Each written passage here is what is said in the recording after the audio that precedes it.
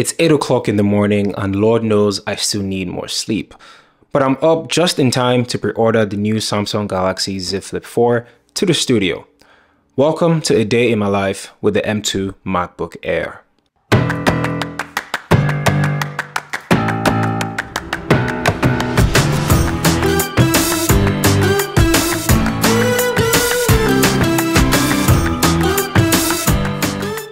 So I just finished taking a shower and getting ready to start my day. Now for the past few days, I have been home recording and shooting videos for myself and my YouTube channel, as well as getting ready for the new semester as an MBA student. But today I want to do something different and go out and have a little fresh air and get some work done.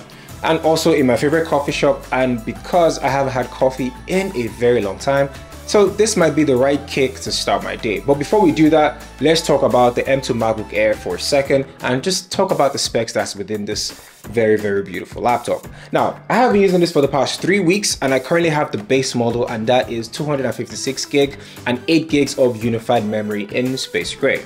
Now, honestly, it has worked well enough for me in the past couple of weeks as my daily computer and I use it to edit in Final Cut and Adobe Lightroom for my pictures and thumbnails, as well as passive tasks like watching movies, FaceTiming and whatnot. Now there have been talks of a slower SSD speed, so if you want to upgrade to say the 512 gig, you can do that to avoid the slow SSD speed, but it'll cost you a lot more.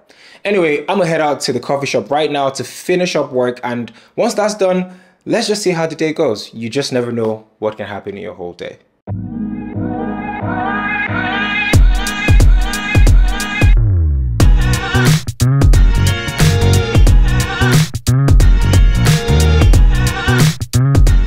Welcome to my favorite coffee spot in Hamilton called Relay. It has very good ambience to get work done, cool art, merch, and probably the best coffee around. But today I decided to go for something different because the weather was pretty hot, so I got a watermelon iced tea to start my morning.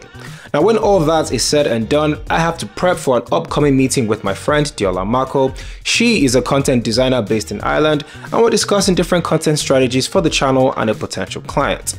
I brought along with me my Pixel Buds Pro as the battery life and the microphone are one of its best features. I also tested out the upgraded camera on the M2 MacBook Air and it's not so bad at all. They didn't really need to upgrade it so this is a nice to have. Now my call with Diola lasted for about an hour or two, going over our ideas on what is best for the client. I also went over my class schedule with her to make sure nothing is clashing in the nearest future. Typing on the M2 MacBook Air is pretty satisfying. It is similar to the M1, but keys here are a lot different and more prominent. It has two Thunderbolt 3 ports with MagSafe. It does not have a memory card reader, so you have to get an extra dongle if you want to transfer files seamlessly. Now overall, the design is pretty good. The square design is a welcome addition to Apple's current design language. Now on my way out, I noticed a woman had the M2 MacBook Air and I decided to ask her a few questions on if it's worth it. The Mac OS system. Okay. So given that like this is kind of like the entry level of like Mac versus like the MacBook Pro, which is more expensive, I feel like if you're like dedicated to like the Mac OS system, I think it's perfect. I think if you're like willing to like not go Mac OS, I'm sure like there's so many other options for like PCs, but like I personally wanted a MacBook, so like I feel like this is the best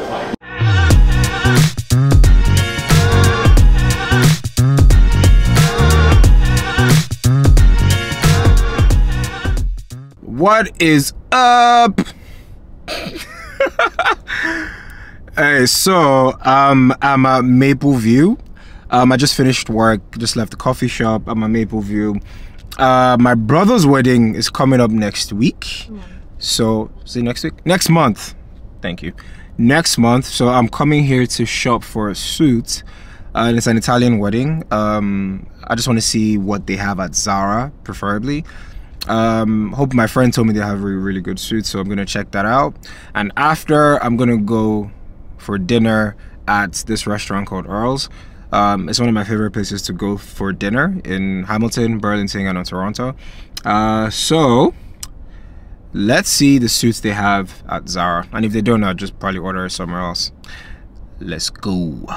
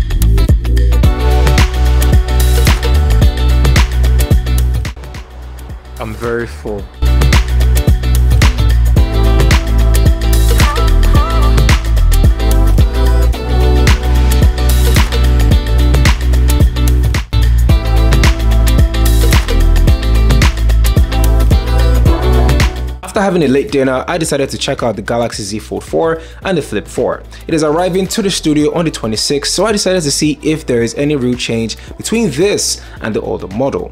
Now the hinge on the Flip 4 is not exactly the best thing and I noticed a lot of people aren't talking about it or how visible it is.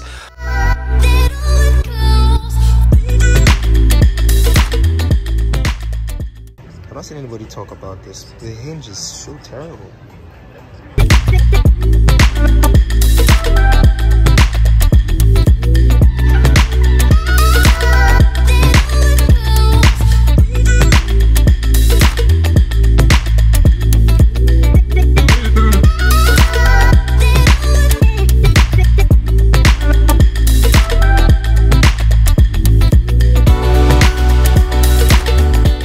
But by the time I got home, it was pretty late and I needed to relax and distress. So I just got home and it's currently 8 p.m. and I'm pretty exhausted. But the M2 MacBook Air came through for me as the day went by. So I currently have about 70% battery left, which is pretty good for a whole day of use. Now in terms for who this is for, it is kind of hard to say. The base model of the M2 is currently 1199 and that puts it in a weird position because a brand new M1 MacBook Air is 999 and a refurbished model costs 849. And a lot of people that get MacBook Airs in the first place get it because it is definitely the cheaper option than the, than the Pro versions. Now it is a dilemma really, but from a practical standpoint, the M1 MacBook Air at 849 refurbished gets you almost the same performance, same battery life, same design for $400 cheaper I mean, or you can get the M2 MacBook Air and you get the MagSafe charger, you get the display, you get the slightly better performance. But is that enough for some people? Maybe. But if you're a student on a budget starting out as a content creator, then the M1 MacBook Air provides better value for you. Thank you for watching another day in my life video. Now if you liked this video, don't forget to like and subscribe to the channel to see more. Now I'm gonna go play my PlayStation 5 and Apex Legends, so I will see you guys in the next one where I talk all things tech.